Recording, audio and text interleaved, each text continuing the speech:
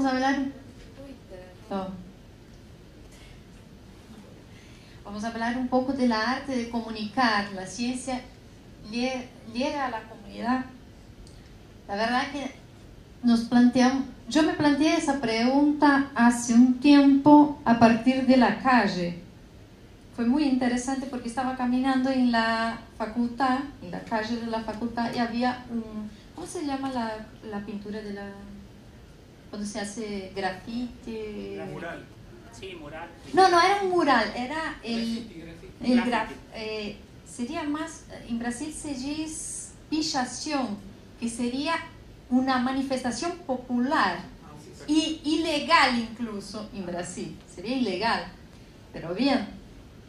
Y estaba escrito porque en portugués se escribe para qué o para quién, no quién. Entonces había escrito en, en la pared para qué se hace, la, se hace conocimiento científico, algo así. Y entre paréntesis, ¿quién? Y yo me quedé parada, porque era una pregunta que nunca tenía hecho. Y yo me quedé, ¿realmente para qué? ¿Para quién hacemos? ¿Estamos acá? ¿Qué hacemos acá? Y esa inquietud parece que nosotros traemos junto en cuanto hacemos esta comunicación de la ciencia. ¿Para quién? ¿Para qué y para quién vamos a hacer eh, los talleres? Lo, vamos a pensar las charlas. Y esa pregunta siguió durante algún tiempo. La contestación sería que, que, las, que, llegase a la, a la comunidad. Pero ¿de qué manera, de qué forma? Y si realmente llega donde creemos que debe llegar ese conocimiento, ese estudio y todo lo que hacemos.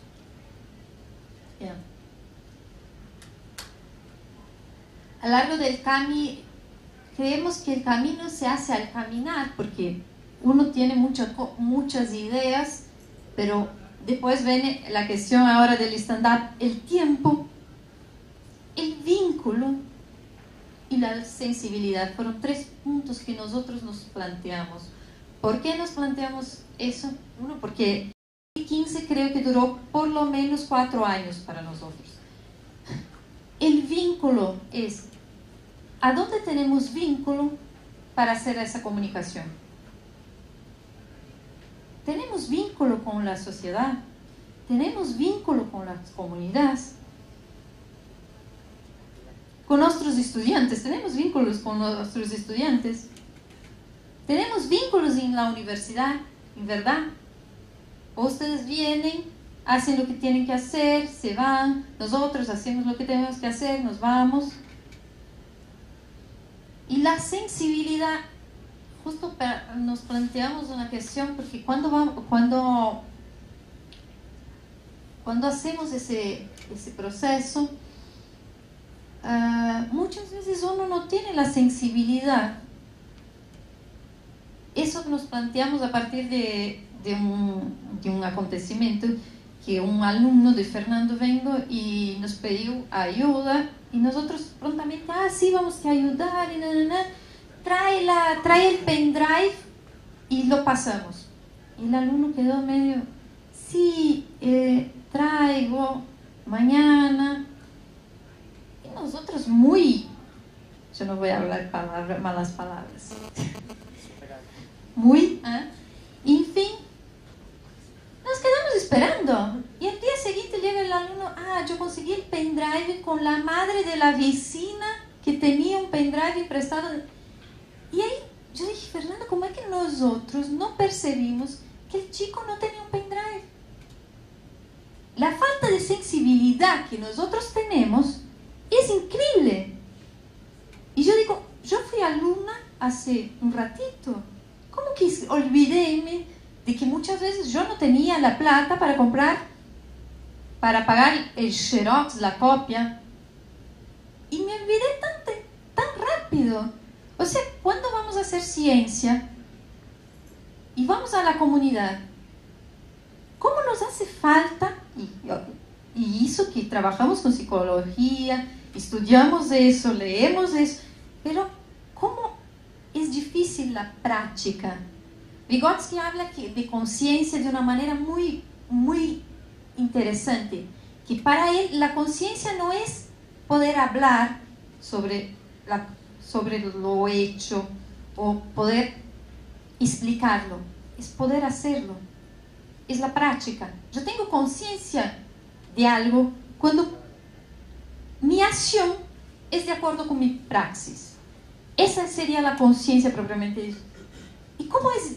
Cómo muchas veces nos pasa ciertas situaciones en que realmente nos falta esa sensibilidad y de cómo es un trabajo continuo. Uno tiene que estar revisándolo continuamente y estar...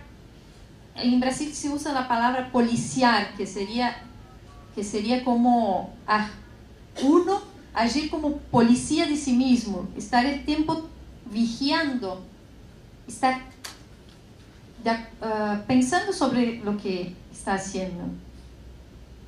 Opa. Bueno, cuando planteamos esos talleres y, y, estas charlas, teníamos norteadores.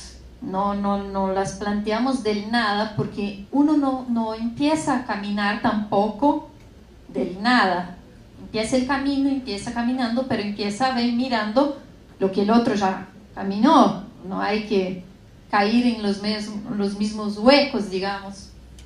Entonces los norteadores que teníamos era superar las visiones de asistencia, donde el científico simplemente diagnostica demandas, propone soluciones desde un lugar de saber. Superar la simple transmisión de saberes, donde intenta-se apenas promover el tipo de cultura científica y el otro es entendido como una tabla rasa y nosotros somos, vamos, a quien, vamos a ser quien vamos a llevar el conocimiento.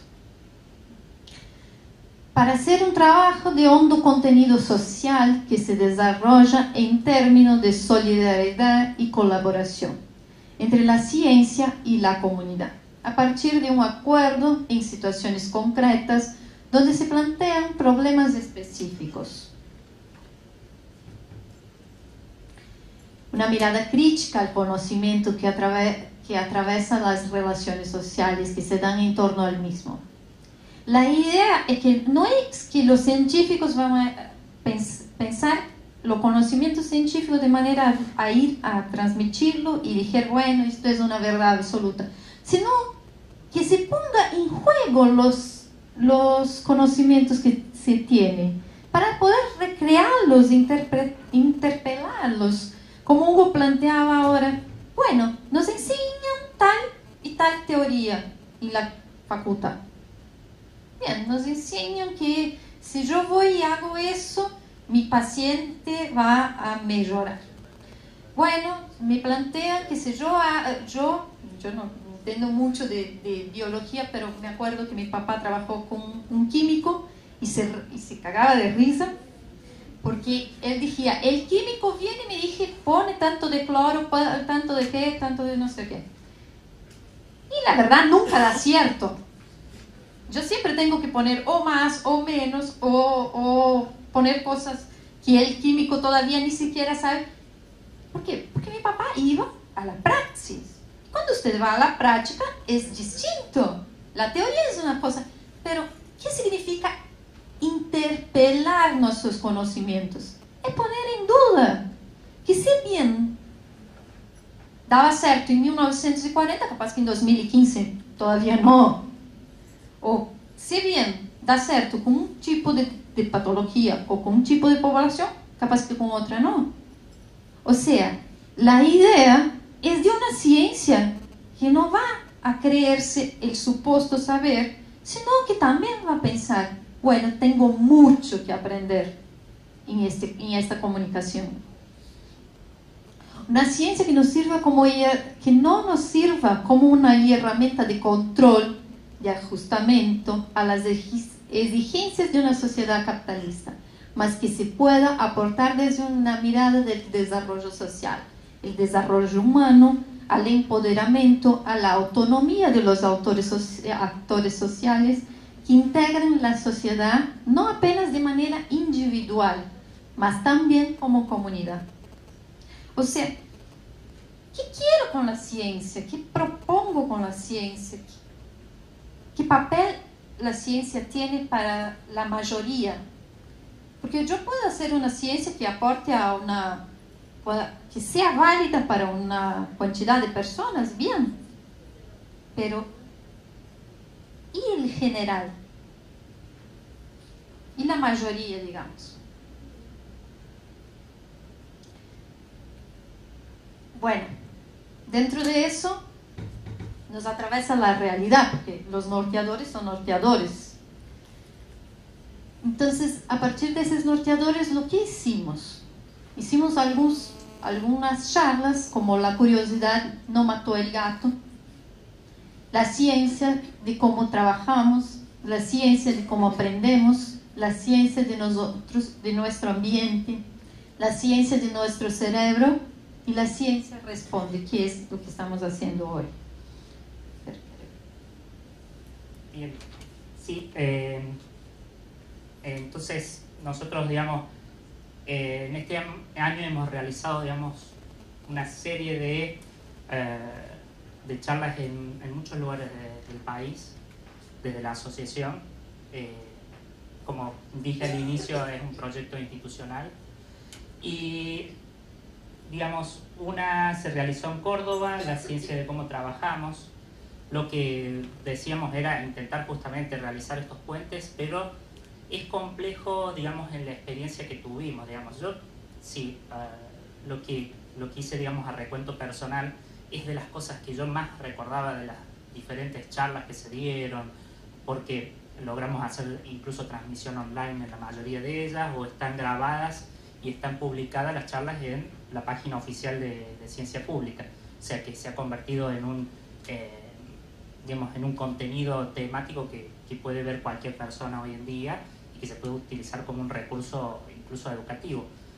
Pero, eh, digamos, a nivel personal mm, pasaba lo que decía Antonio, ¿no? O sea, uno se recuerda sobre todo cuando las charlas tenían alguna sorpresa, había muchas risas o eh, por ejemplo, en la de Córdoba del Trabajo, una de las charlas que más eh, gustó a todos fue la de un cronobiólogo que contaba cuestiones de por qué uno en la adolescencia le cuesta tanto levantarse a las 7 de la mañana para ir a la escuela, ¿no?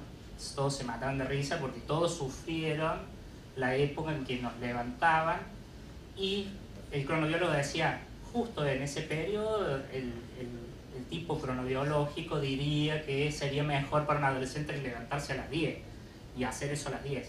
Y nosotros nos preguntamos, bueno, ¿por qué ese conocimiento no se convertía en, en, una acción pública como, bueno, empezar las clases a las 10 de la mañana para los adolescentes o para los chicos, lo cual sería de lo más simple en algún sentido, ¿no? Respetar estos tiempos cronobiológicos que son individuales y, demás, ¿no? Eh, Después eh, dimos eh, la ciencia de cómo aprendemos en Buenos Aires, en la UCA.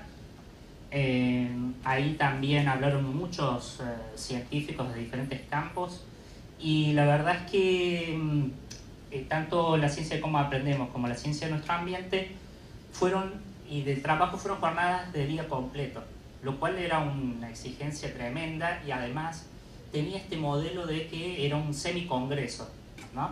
Y pasa, digamos, como recién Antonio quizás preguntó cuántos eran fuera de la, de la, universidad y eran muy poca gente que venía fuera de la universidad, muchos eran estudiantes o docentes y demás, y se convertía como en una, eh, como una charla, digamos, eh, intrauniversitaria. ¿no? De hecho, digamos, en las discusiones de nuestra asociación lo que decíamos era, bueno, quizás para traer a la gente a la universidad hay que hacer un puente primero haciendo talleres en la comunidad haciendo talleres en las escuelas, haciendo, y haciendo talleres y no charlas. O sea, talleres en el sentido de que sean prácticas, dinámicas. Eh, nos pasó este año que nosotros también en, nuestra tarea docente intentamos aplicar esta cuestión de dejar un poco lo teórico para tratar de que los chicos trabajasen los conceptos, trabajasen lo que, lo que tienen que, digamos, apropiarse apropiarse de ese conocimiento no es solamente leer un texto de un autor X, sino trabajar sobre lo que se dice y hacerlo en, en, una acción determinada. Y eso nos sirvió un montón, porque los chicos nos pasan y nos dicen, ah, esa, esa, esa clase no me la olvido más. Eso, y es algo que uno se da cuenta que, que, tiene que convertirse y transformarse en eso. Y bueno, la ciencia de nuestro cerebro, quería hacer un comentario también, porque ese parece ser un boom hoy en día, el tema de las neurociencias. ¿no? De hecho, nosotros hemos entrado en contacto y, tenemos la intención de hacer una jornada más grande el año que viene con, eh, eh, ¿cómo se llama?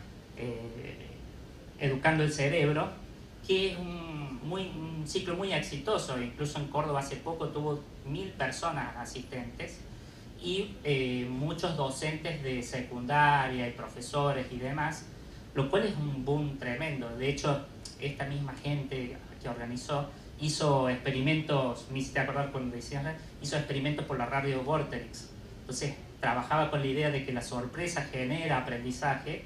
Hicieron varias prácticas que están muy interesantes, creo que debe estar en el libro de la caja negra o en, en REC, que es un trabajo que hizo el organizador, y que, que son experiencias que, que son muy, muy interesantes y que generan, digamos, me parece un interés genuino en la gente, ¿no? más allá de las limitaciones que siguen teniendo esto del tiempo, la, la sensibilidad, etcétera, etcétera. Así que, digamos, siempre, a pesar de las cuestiones negativas, creo que tenemos mucho camino para recorrer y seguimos aprendiendo y como digo yo siempre, lo más importante es mantenerse en el tiempo para que, para que esto siga, sigamos aprendiendo de cómo hacerlo.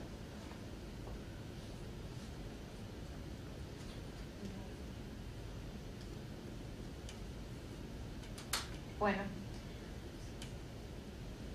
la verdad, lo que pasó, uh, creo que tuvimos muchísimas uh, debates al respecto de cómo íbamos a hacer. La idea era que los próximos años se cambie un poco el modelo. Yo dije a Fer, a mí no me yo tengo la misma opinión, a mí no me gusta estar acá, a mí no me gusta que ustedes estén allá, a mí no me gusta que yo me quede hablando y ustedes estoy acá, tipo, y lo que, lo que pensamos es proponer acciones distintas, más participativas, más interactivas. Y como yo dije al principio, las cuestiones que nos atravesaron fueron las cuestiones de la realidad. Fue la cuestión del tiempo, la cuestión del lugar, la cuestión de vínculo. Pero ahí en debate pensábamos, pensábamos entre nosotros, bueno, pero es el tiempo que tenemos, es un lugar que tenemos, vamos a hacer. Porque como nos planteamos, el, el caminar se da por el camino. Hoy somos pocos, fue un modelo todavía con sus limitaciones, pero fue un, fue un primer paso para podernos lograr nuestro ideal. Entonces, la idea es que sigamos reevaluando y desarrollando en dirección al, ideal y que nuestro discurso de charlas más de, de talleres, de participación, de, de, de, estar en la comunidad, no apenas de ir a la comunidad, de vincularse y de poder intercambiar conocimientos, no sea tan un una presentación para ustedes, como sea una, una real tomada de conciencia, una real acción y que, bueno, que todos puedan participar también en ese proceso. Bien. Bueno, para cerrar, digamos, eh, eh, digamos ya ahora damos un coffee break, así que afuera los va a estar esperando, ¿no? Un café, sí, un café y algunas cosas si quieren. Y de acá a media hora seguimos con la jornada. Eh, quizás una de las cosas que me recordaba recién era que eh, hicimos una experiencia el año pasado, Ciencia 3D, en, un congreso, que fue muy interesante. Directamente hacíamos los experimentos eh, psicológicos con, con, la gente que se anotaba y interactuábamos sobre todo en trabajos de psicología evolucionista. Muy interesante, la, la gente estaba chocha, digamos, ahí practicando también con la computadora, haciendo experimentos, las muestras del museo acá de Historia de la Psicología, que fueron bastante exitosas también, la gente se prende para hacer experimentos y de hecho, digamos, parte de, todo el proyecto de, de Historia y Psicología también hacer una especie de transferencia a la comunidad. Bueno, no sé si alguien tiene alguna pregunta o algo, y si no, vamos al cierre y después seguimos. No, eh, bueno, sí. en, este proceso de, eh, digo bien, recursividad, de esta reflexión permanente, em, se, se, lo hago a ustedes, pero también me lo hago yo. ¿Cómo piensan actividades en donde los científicos van a los barrios a aprender? No, digamos, esta idea de, digamos, la preocupación parece que está puesta en un lugar. Nosotros tenemos una preocupación por mover, movilizar, dar a conocer, etc. No, no mm, cuesta más este, este lugar, de identificar este lugar de qué tengo yo para conocer, digamos, que sea vecino por un día, esa actividad, digamos, cuando viene, ¿no? Sí, o sea, invertir la... Sí, claro, como principio de democratización inclusive. Sí. Nosotros percebemos mucho eso en la clase con, con Hugo en Historias de la Psicología, porque muchos alumnos ahora vienen muy cuestionadores. A mí me encantó, en verdad.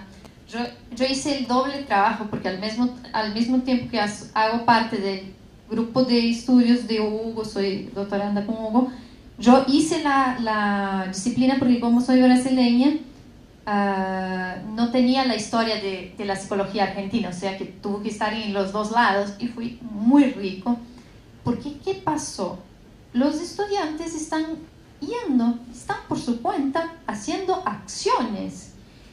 Y es encantador porque ahí vienen las profesoras diciendo, ah, bueno, la teoría, No, pero eso no se puede aplicar en la comunidad donde yo estoy no, eso nada que ver con la realidad que yo vivo. O sea, como Hugo planteó, las nuevas generaciones son las que están planteando eso y me parece que eso es lo que genera el conocimiento. Es un conocimiento que acá no están teniendo y allá están, están, están fomentando. Sí, hay muchos grupos de eh, alfabetización en los barrios que se dan cuenta, digamos, de que no las herramientas las adquieren directamente en el barrio, no las adquieren acá. Es, un, es un tema muy interesante. O sea, me parece que lo que tenemos que hacer es justamente esto que vos decías, invertir la carga y ver cómo, o sea, ir en talleres interactivos, digamos, ¿no? Nosotros los talleres que habíamos pensado siempre era con alguien de la comunidad hablando de su experiencia de la problemática y alguien del campo que pudiera decir algo de lo que él sabe sobre esa temática para interactuar, ¿no? hacer el puente, por decirlo de una manera. Esa sería nuestra, nuestra idea general.